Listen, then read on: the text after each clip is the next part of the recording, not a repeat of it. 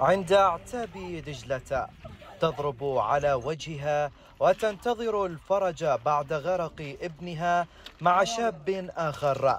ونجاة الثالث هربوا من الحر وانقطاع الكهرباء إلى الموت في دجلة. ابن البارحة ريد غواص ولا واحد.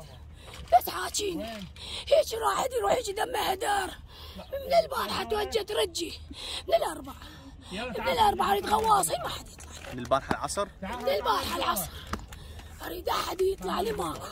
هاي قعدتي من البارحة من البارحة الساعة بالأربعة 24 ساعة مرت على غرق الشابين. لا شرطة نهرية تدخلت رغم المناشدات.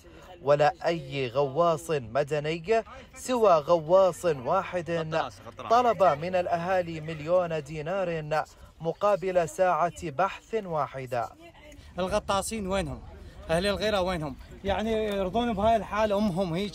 بس هو اللي أمهم. شوفهم انزل لي أبويا هاي حالة يرضوها؟ يقبلون على هاي الحالة؟ ولدها اثنينهم بالمي. لا حد يوصل لا حد يجي. دوريات تخلي وتطلع يجي مدني. مدني يقول أنا غواص. آخذ مليون على الساعة. لك أنت عندك ضمير عندك شرف أنت ما عندك غيرة. الله لا يوفقك.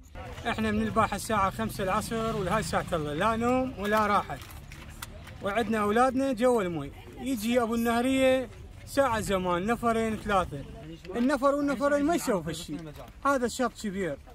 وهاي العالم من البارحة واليوم يعني متأذية وعوائلهم ونايم يقسم بها عالم هنا يعني المناشدة خويه يجونا اللي جاي يساعدونا.